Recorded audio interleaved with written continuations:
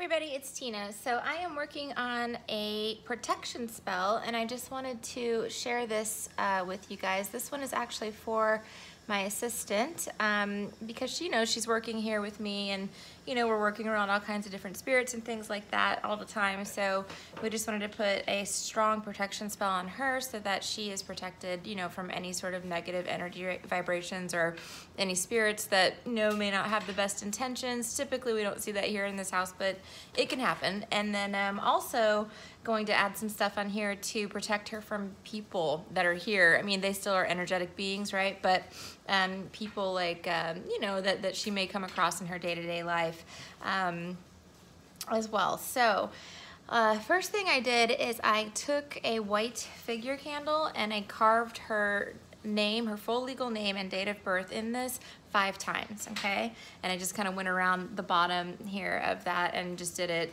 you know, over and over again. Um, so now what we're gonna do is light some dragon's blood incense. You could use um, frankincense or myrrh. You could use, uh, there's a lot of protective um, incense, but dragon's blood is really, really good for that it's very strong. So I'm gonna light a little cone here. I'm scoot these bay leaves over. All right, let me grab my matches.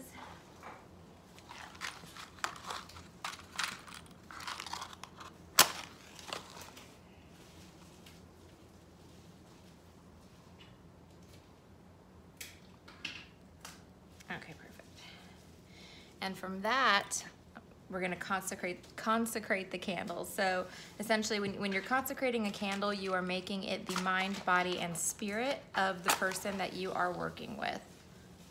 Let's see.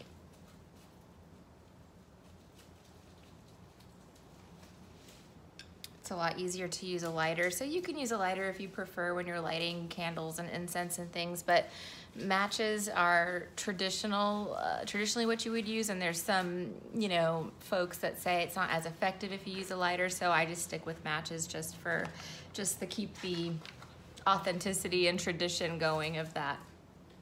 All right, blow that out. And then basically just stating, you know, rub the candle through the smoke and stating, you know, you are the mind, body, and spirit of, okay, and their name. And do that several times. For protection spells, you would generally, I, I would say do it five times. I work with number magic a lot, so I try to keep everything, you know, in line with what I'm trying to do. So it would be, you are now the mind, body, and spirit of blank, you know, five times, okay? I'm just doing that now.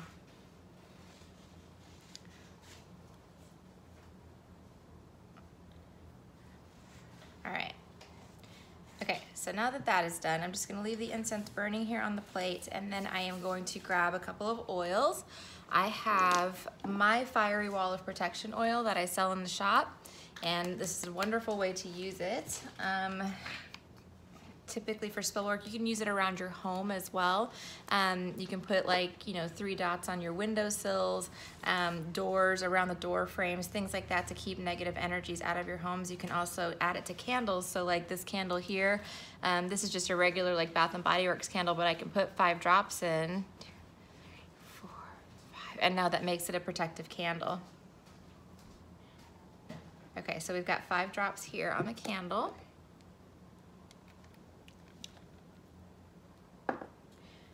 And generally what you wanna do, let me get the oil up at the top, is start at the top and rub down. So you would wanna coat the head and then, you know, kind of really work your, work the energy into it. And as you're rubbing the oil in, you would want to um, uh, envision or, or say, you know, what you're trying to do. Some people pray, um, but you would just say, you know, you are now protected, you are now protected, you are now protected, you know, you're protected by a fiery wall, um, no, no evil can come to you or harm you in any way, that type of thing.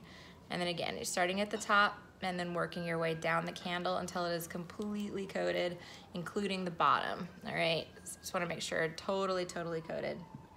All right, next I'm gonna use, this is from a company called The Keeping Room. This is a, like a manufactured oil. It's not a um, handmade one like we do here in the shop, but um, this is something that I bought before I started making conjure oils myself. Um, so I'm just gonna add a little bit of that just for fun, just for a little bit of added boost. and that one's called Fierce Protection. Sorry about the background noise, guys. Say a little prayer, hopefully they're okay.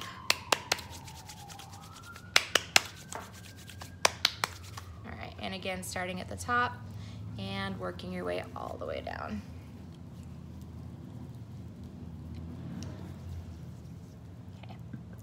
All right, next thing I have is hyssop. So hyssop is a purification uh, oil or herb. It's a very, very old traditional herb referenced a lot in the Bible um, for those that that means anything to. And um, it's it was known for cleansing away negative energy vibrations and purifying people. So um, so I'm gonna use some of this oil here, and this is an oil actually from Jerusalem. I got it online, but uh, I love it. it. It smells wonderful. Like I actually think I might, I want to sell it in my shop because it's, it's amazing. So I'm working on maybe, maybe doing that. So, um, I'm just going to rub the candle here all the way down. All right. And then since I have oily hands, I'm going to go ahead and take the supporting candles that I'm going to be using and rub the rest of that oil into those.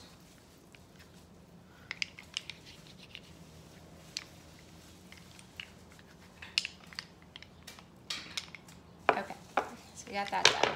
So, just wipe my hands here. Now we're gonna add some herbs to, to her, okay? So one of the strongest and most common herbs you can use for protection is gonna be rosemary. And I use it a lot in different things. It's also good for money work, but um, very, very good for cleansing and protection work. So I have some dried rosemary here. If you have fresh, that's even better.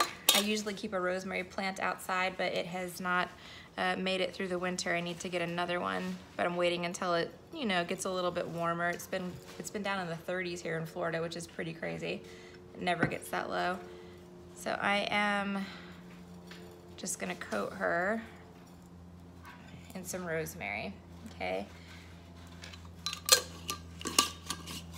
All right, next thing I'm gonna do is um, add, I've got a couple of different ones here and there's there's a million different herbs you can use for this kind of stuff, guys. This one's called periwinkle or sorcerer's violet and one of the, um, it's you can use it for a bunch of different things. You can see there, attraction, love, sex, passion, money, protection is one of the things that it's used for. So I am going to add a little bit of that to her. Start at the crown again and work our way down. Right? And the next one I'm using is called Willow White. Let me just take the tag off here. And this one is known as the Witch's Aspirin for all magic, moon magic, love, money, protection, and success of rituals. So we're not only adding an additional layer of protection here, we are also adding um, an element of uh, like success for this for this spell okay so we, we want this to work obviously it's important so um, it adds a boost of power to the spell as well gonna just take that and again starting at the crown work my way down all right so got that done all right so now I've got a couple of bay leaves, actually three, okay, again, working in lucky numbers. I'm gonna place those around her. Bay leaves are very good for protection. You can actually burn uh, bay leaves in your home for protection, use it as kind of like an incense. They burn pretty crazy. I've shown it a few times on the channel, but um, burning them is really good. It's good for money. It's good. The bay leaves are amazing. So that's be another common kitchen herb that you can get um, if you are doing work for yourself at home. Next, I'm taking some sea salt here, and I am just gonna put this in a circle around the figure candle. All right. Just starting here. Don't need a ton, but enough to make a complete circle around her.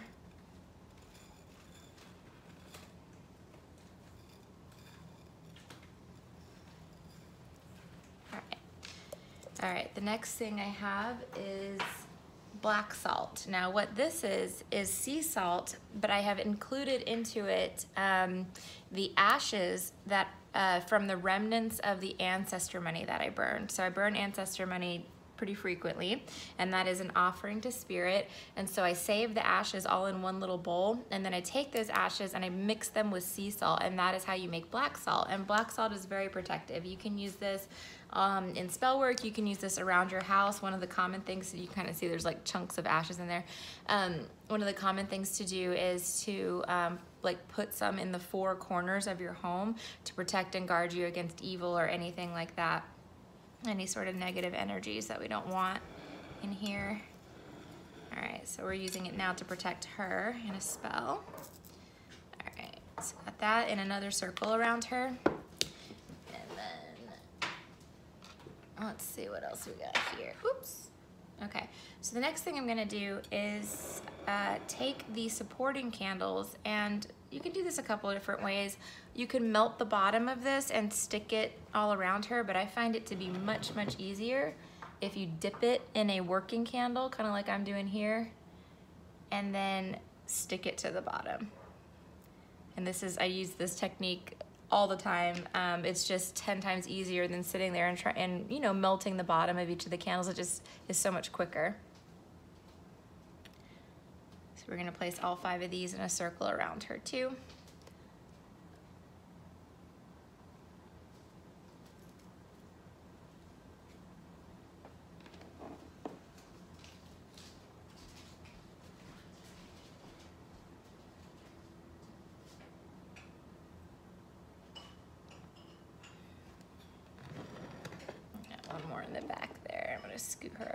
Tiniest bit.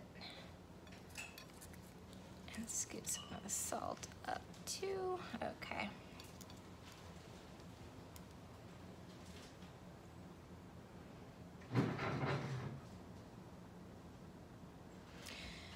All right, the last thing that we're gonna add is some carnations. Now, for those of you that have worked with me and those of you that follow what I, what I do with my magic, I always, well, maybe not always, I think, I mean, pretty much always add carnations to my spell work. It's um, one of the oldest you know, historical flowers that documented flowers, okay? They, they've been around since, you know, it's like in the BC era basically, but they are very, very powerful and they add a big boost of power to your spell.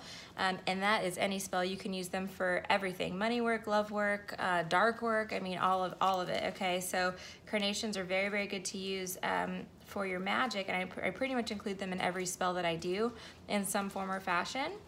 Um, usually like for, you know, you can use different colors for different things. There's white, there's red, there's a million colors of carnations, but I just, I love having them around and I use them constantly. So um, also these are an offering to spirit. So we're gonna place those on the plate. I'm just fluffing up the petals a little bit here. Trying not to burn this incense or burn the flower with the incense there. Okay. All right, so we are ready to light her. Now, get her lit.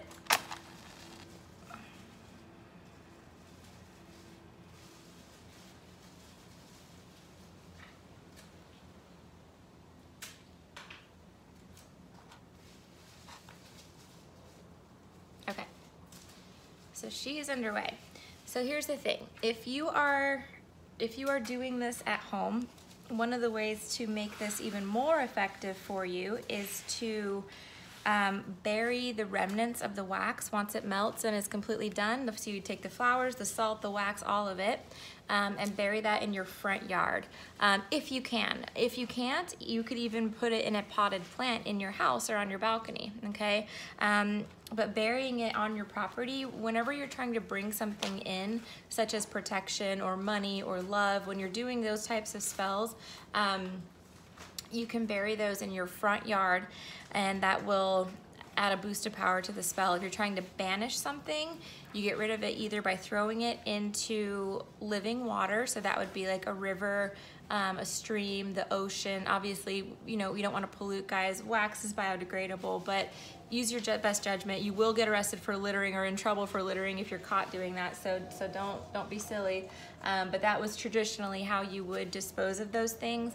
Um, or uh, you can bury it in the back of your property if you're trying to banish something. There's there's different different different strokes for different folks, right? Everybody's gonna tell you something different, but um, that is a couple ways you can get rid of it. The other thing you can do is um, just thank the items for its magic, thank spirit for their help, and then you can actually just throw that in the garbage because it's it, the spell is complete, right? Like those are no longer um, needed essentially. So it's it's okay to throw them away if that is if that is pretty much your only option as well.